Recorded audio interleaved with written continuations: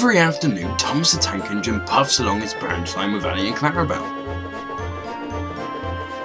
First, they pass the watermill. Next, they come to a big farm. Then, they can see a bridge with a village nestled either side of it. This is a special place. Whenever children can hear Thomas coming along, they stand on the bridge waving until he's out of sight. One day, Thomas was running late. He had stopped at the signal before the bridge to talk to some new children. Percy was waiting too. Hurry up, Thomas, called Percy when the signal dropped. If you're late, Sir Topham might get a new engine to replace you.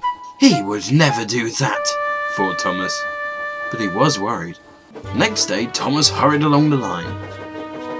Just ahead was the goods yard. There on the platform was an inspector waving a red flag. Next, Thomas saw some children. They were waving too. Something must be wrong, thought Thomas. This station's for goods, not passengers. Help, Thomas, help!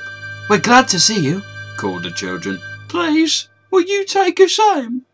The station master explained to Thomas's driver that the school bus had broken down, and all the parents would be worried if the children were late.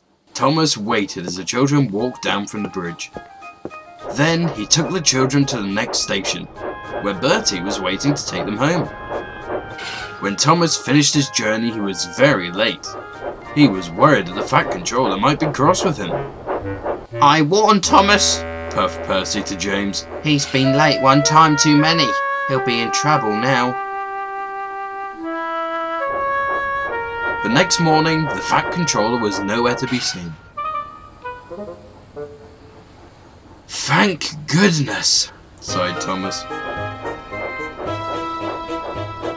Thomas knows every part of his branch line, but just ahead was a stretch where the hot sand had bent the rails on the track.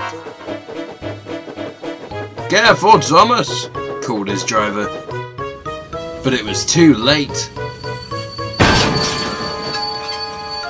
That's done it, said his driver. We shan't get any further today. But what about my passengers? Don't worry, they'll be looked after, replied his driver. While workmen repaired the line, Thomas had to shunt trucks in the yard. Bertie came to see him. I understand you need my help again. Yes, Bertie, replied Thomas sadly. I can't run without my rails.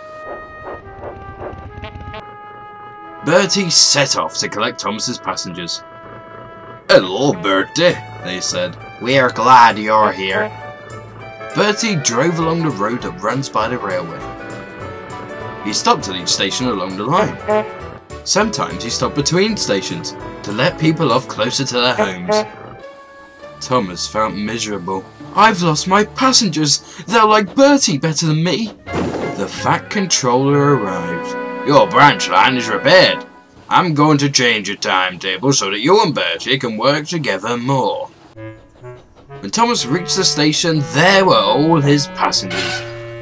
Bertie's a very good boss, but we missed our train rides with you, they said. Later, Thomas spoke to Bertie.